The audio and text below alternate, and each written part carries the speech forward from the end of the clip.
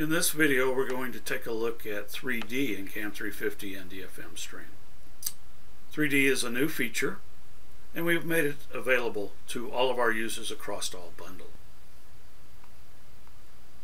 In CAM 350 and DFM Stream we can create the 3D from intelligent data that would include things like component information, component height information, dielectric thicknesses, partial via locations.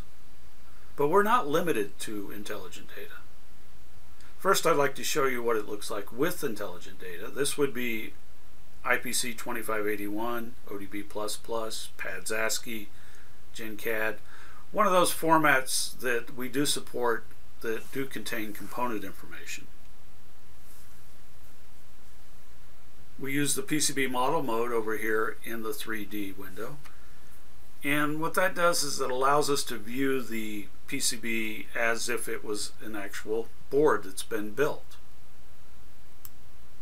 We can manipulate, move around the design from within here.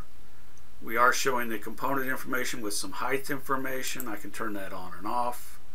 Uh, you'll also notice that the solder mask has been inverted so that we can see the component pins.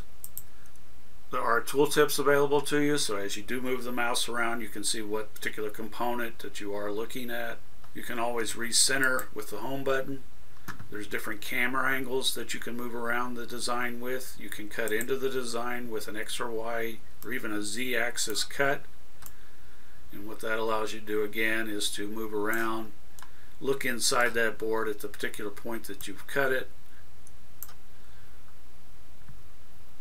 You can spread it further apart, of course. You can peel off layers. You can show dielectrics or hide dielectrics.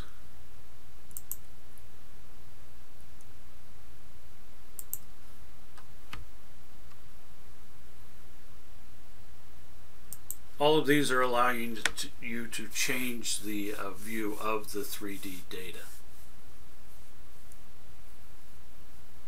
Now in this example we did use intelligent data, but what if you don't have intelligent data?